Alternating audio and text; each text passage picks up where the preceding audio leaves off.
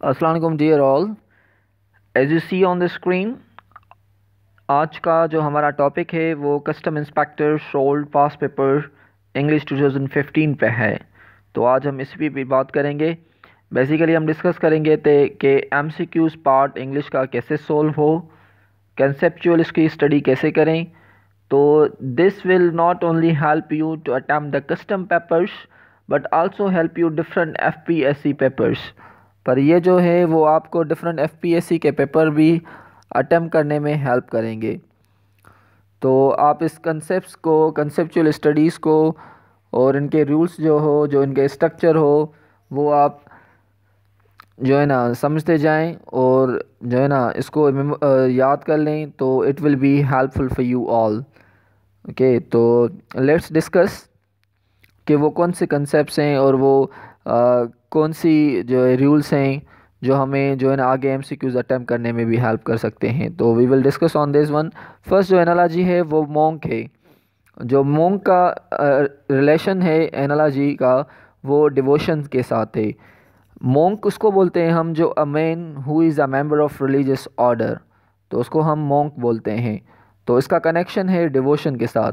तो उसकी एनालॉजी होगी रोवर और वेंडरलिस्ट तो रोवर जो है उसको बोलते हैं रोमर आर वेंडरर, ओके, जो the person who roams from one place to another place, the person who wander from one place to another place. तो इसका कनेक्शन जो होगा तो जो होगा, वो होगा वेंडरलस्ट से। Wanderlust means stronger desire to travel stronger desire to travel तो इससे कनेक्शन होगा, ये एनालॉजी होगी इसकी।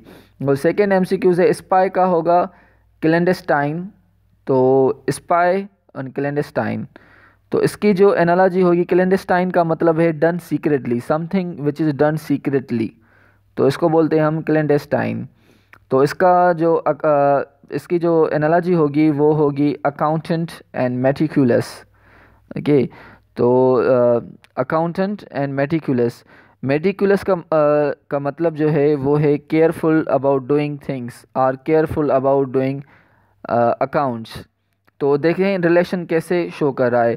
जैसे मोंक है तो वो मोंक मीन्स वो बंदा जो मेंबर हो रिलीजियस ऑर्डर का तो उसका कनेक्शन हो गया डिवोशन के साथ, यानी इबादत के साथ। सिमिलरली तो इसकी एनालॉजी होगी रोवर वेंडलिस्ट रोवर का कनेक्शन भी है रोमर से जो पर्सन ट्रैवल करता है तो उसका कनेक्शन किसके साथ होगा? वेंडरलस्ट के साथ मतलब stronger desire to travel similarly जो स्पाई का होगा तो क्लेंडेस्टाइंस के साथ होगा। Spy means spy spy one who spy okay the person shows the person अब उसके एक्शन को शो करा। है उसका एक्शन कौन सा है? काम कौन सा है? क्लेंडेस्टाइन काम है उसका। मीन्स केयर जो मीन्स डन सीक्रेटली जो पर्सन है और उसका जो काम है, उसको शो करा है। सिमिलरली अकाउंटेंट पर्सन है, उसका जो काम है, वो जो है careful about doing things or careful about doing account works तो सी इस तरह से आपको एनालॉजी बनानी है। तो इस तरह से आप रिजेंबल कर ले जाएँगे रिलेशन शो करेंगे तो it will help you also to solve the analogies तो सिमिलरली कोबलर है कोबलर का है शू के शू के साथ। तो सिमिलरली कॉन्ट्रैक्टर का होगा बिल्डिंग के साथ। नंबर फोर जो है अम्ब्रेज का है ऑफेंस के साथ। अम्ब्रेज का है ओफिन के साथ। तो सिमिलरली जो इलेशन का होगा जुबिलेंस के साथ। तो अम्ब्रे अम्ब्रेज जो है, उसकी जो है ना दूसरी माना है ऑफेंस यानी बोथ आर द सिनेम्स तो similarly elation and jubilance both are synonyms तो इन बोथ की माना जो है, होगी जॉय और ग्रेट हैप्पीनेस दोनों की माना होगी जॉय या ग्रेट हैप्पीनेस तो नंबर फाइव जो है एनालॉजी वो है इंटरेस्ट इंटरेस्ट का ऑब्सेशन के साथ है रिलेशन ये तो सिमिलरली जो इसका एनालॉजी होगी इसकी, वो होगी ड्रीम का फैंटेसी के साथ ओके फैंटेसी उसको बोलते हैं हम act of imaginary something okay imagining something कई चीज़ आप इमेजिन करें, उस उस एक्ट को हम फैंटेसी बोलते हैं। तो सिमिलरली साउंड का है काकोफोनी के साथ तो इसका जो होगा स्मेल का स्ट्रेंच के साथ होगा। तो this is the this is the analogy of sound cacophony similarly cacophony बोलते हैं हम अनप्लेजेंट लाउड साउंड को। Cacophony means unpleasant loud sounds तो इसकी मीनिंग आप क्लियर करते जाएँगे ना तो ज़्यादा बेहतर होगा, ज़्यादा आपको समझने में रिलेशनशिप समझने में हेल्प करेगी। तो hope you are getting the things number seven जो था, वो प्रोफेसर का इरियोडाइट के साथ था। प्रोफेसर का इरियोडाइट के साथ। इरियोडाइट को बोलते हैं हम showing knowledge that is learn by studying okay तो सी द रिलेशनशिप उसके काम से बता रहा है। प्रोफेसर इरियोडाइट यानी showing knowledge that is learn by studying the inventor का होगा इमेजिनेटिव के साथ।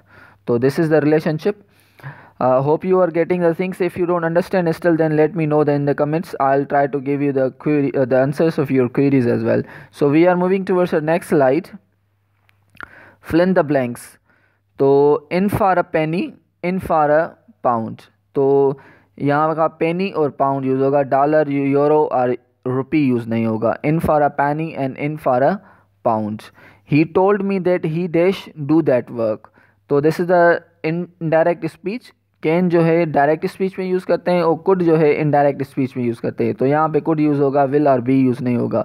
He told me that he could do that work number three जो है, वो that was in dash edition of the book तो यहाँ पे average edition of the book ये मैंने 2005 का पेपर अटैम्प्ट किया था हमने। कस्टम इंस्पेक्टर का, उसका हम, उसने रिपीट किए हुए हैं क्वेश्चंस इस इस जो 2015 का कस्टम्स पेपर था, उसमें से चार से पाँच एम रिपीट हुए हैं 2005 वाले क्वेश्चन पेपर में से। सो कोशिश करें आप, जो पेपर है ना, वो सब सोल्व करें।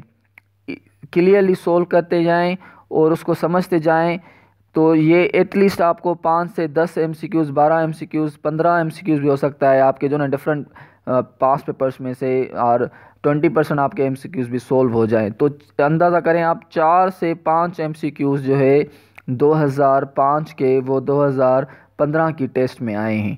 तो you need to carefully look at on these things तो उनमें से एक एक स्टूडेंट ये था 2005 की टेस्ट में कस्टम इंस्पेक्टर की, जो 2015 की में आया है।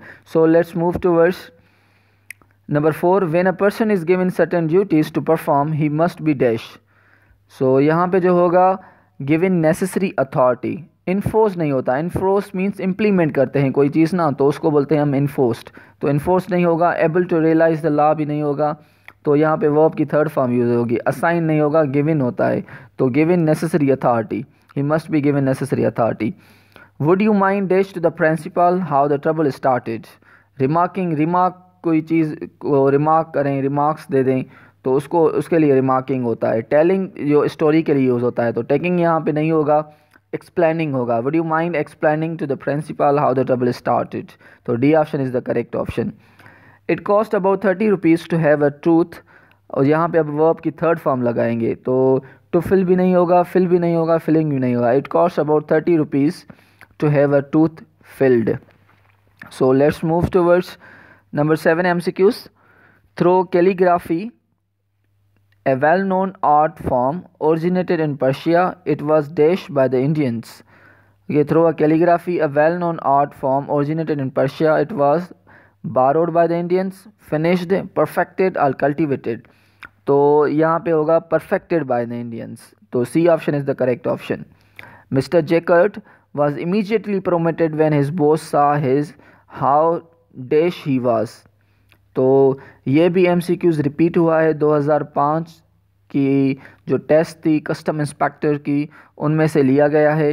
तो एस यूज़ होगा। एस मतलब का मतलब है जो एक्टिव एक्टिव सा हाउ एक्टिव ही वाज और हाउ एस ही वाज तो A option is the correct option number nine M C Qs is that the will did not require dash of witness since it was dash तो the right option for this one is not analyse और old भी नहीं होगा bribery और हिस्टोरियनिक भी नहीं होगा तो सी ऑप्शन होगा attestation and holographic the will did not require attestation of witness since it was holographic क्योंकि ये होलोग्राफिक थी, इस, इसलिए इसकी जो इनके विटनेस की अटेस्टेशन की ज़रूरत ना पड़ी okay so this is the C option जो है, वो करेक्ट ऑप्शन है। So we are moving towards uh, MCQs number 10. The most recent dash from the dig indicate that the society was involved in farming. तो coherence, posterity, artifacts और fauna. तो यहाँ पे artefacts होगा ओके तो artefacts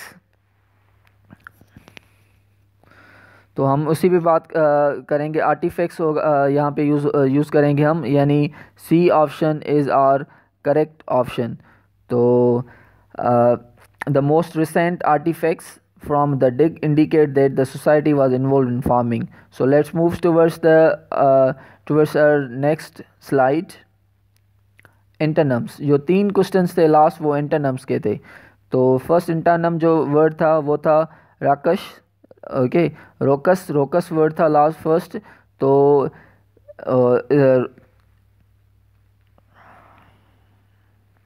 okay तो इसका जो है मेलीफ्यूलस है यानी मेलीफ्यूलस का मतलब है लेरिकल ओके मेलीफ्यूलस का मतलब है लेरिकल तो आ, इसका इसका लेरिकल लेरी लेरिक है और इल अन लेरिक जो है वो वो होगा रोकस तो ये बोथ आर एंटनम्स हैं।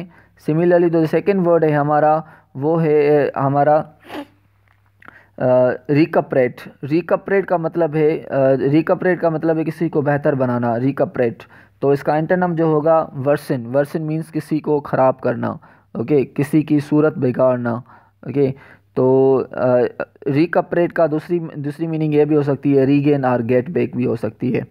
सिमिलरली जो दूसरा वर्ड था, उसका एंटरनम लिखना था एफी अफिकाशस अफिका अफिकाशस का मतलब है यूज़फुल अफिकाशिस मीन्स यूज़फुल तो इसका जो थर्ड जो एंटनम होगा यानी सी होगा जो सी ऑप्शन में था वो था यूज़लेस ओके तो यूज़फुल और useless these were the antennas and uh, hope you are getting the things and if you don't understand still then let me know in the comments uh, and we will meet to another lecture in past papers custom inspector and appraising in different past papers conducted by the fpsc in english parts do uh, do keep in touch.